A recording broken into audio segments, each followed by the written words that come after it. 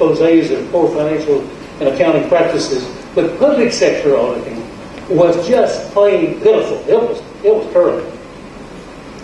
I remember one time when my firm was auditing a county that had previously been audited by just a, a one-man, single, non-certified accountant for many, many years. And I arrived with my briefcase to start the audit. And uh, the lovely little lady who had been the treasurer of the county for many decades uh, opened up on a big table. She opened up uh, two gigantic books. One was a cash receipts book with multi columns across about 30 or 40 columns on each side, and the, and the, and the, and the, cash, the cash receipt book and the cash disbursement book. And uh, she had very carefully and very legibly, very excellent writing, had entered everything during the past year. So I looked at the first page or two, and and I turned to her and I said, I said, ma'am, you know, we, we used, back in those days, we used the word ma'am too in the South. Uh, so I feel at home here. Ma'am, there's no totals in these books. There's no totals in these columns. They haven't been added up. And she very pertly said, Well, Mr. Westbury, that's what our auditor does. So that so-called auditor was just adding up the columns and summarizing the receipts and disbursements, and that was all. He was not verifying anything. Well, later, in the second largest county in my state, uh, we followed another auditing firm in an old-fashioned, very old auditing firm in as new auditors. And when we looked for the general ledger, we were told that the senior partner of the former auditing firm always carried around in his briefcase. So he was the only one that had any information about the county, and he always had it in his briefcase. Finally, when I really hit the big time, auditing the largest county in the state, I had to spend two years designing and installing an accounting system so we'd have something to audit. I can tell you that the government auditing profession in the U.S. and the world has really come a long way since those days. And incidentally, so has the financial management profession in both the private and the public sectors. But sadly, we do not seem to have made nearly as much progress in strengthening internal controls in business and government that work to protect public resources.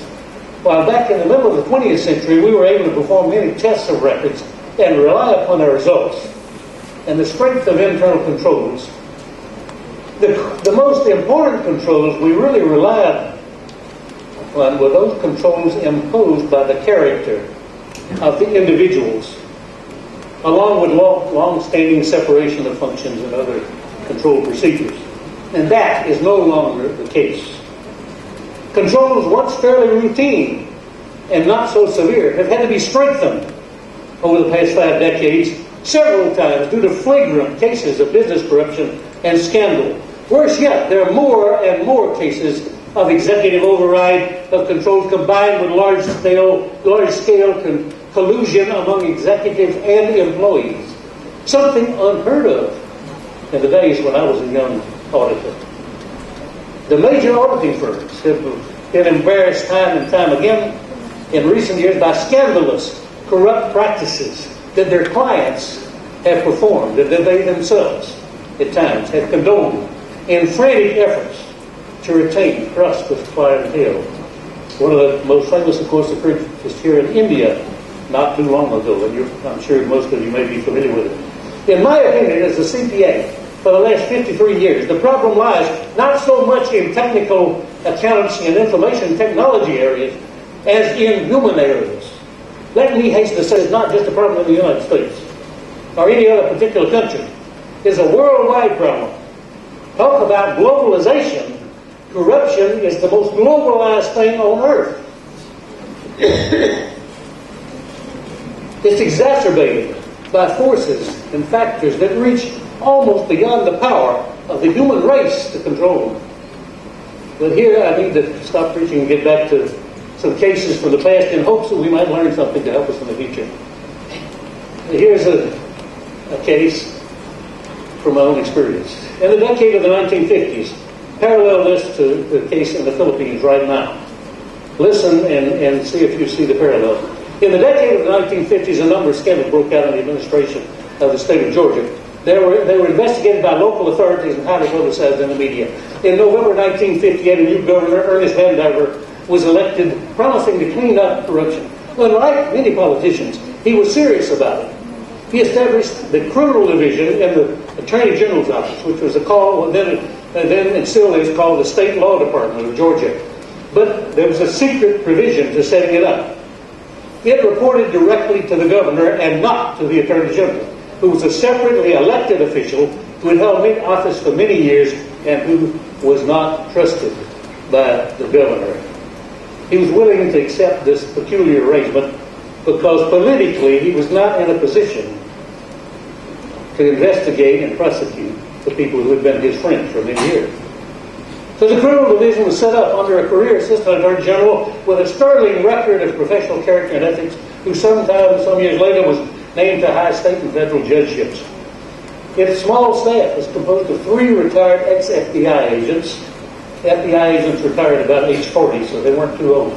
Its, its small staff was composed of those three ex-FBI agents, a young 25-year-old CPA, and two secretaries.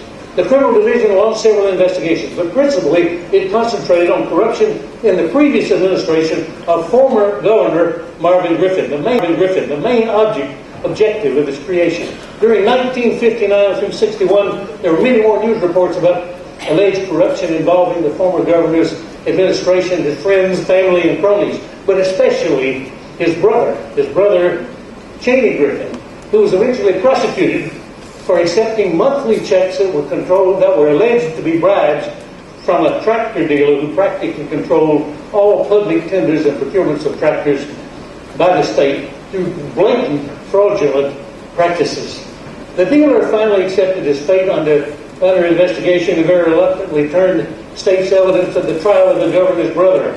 However, through the efforts of the state's most brilliant, astute, and theatrical defense attorney, the jury failed to convict the former governor's brother.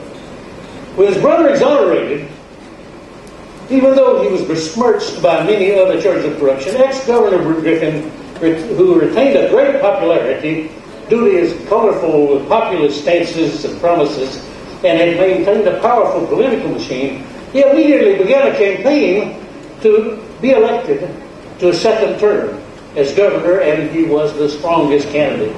His main opponent, Carl Sanders, campaigned on an anti-corruption platform, emphasizing all the scandals reported by the criminal division and the media. His speeches included tossing out to the crowds uh, at, at political rallies actual check-sized photocopies of the tractor dealers' checks to Cheney Griffin. As a result, Marvin Griffin lost the 1962 Democratic primary, and that ended his political career. But despite the strong and successful anti-corruption campaign, Sanders did not retain the criminal division of the state law department. When local newspapers launched a campaign for its restoration, now Governor Sanders rejected the idea and said it wasn't needed. And when a state senator proposed a bill to reestablish the criminal division, it was rejected overwhelmingly by the legislature. The criminal division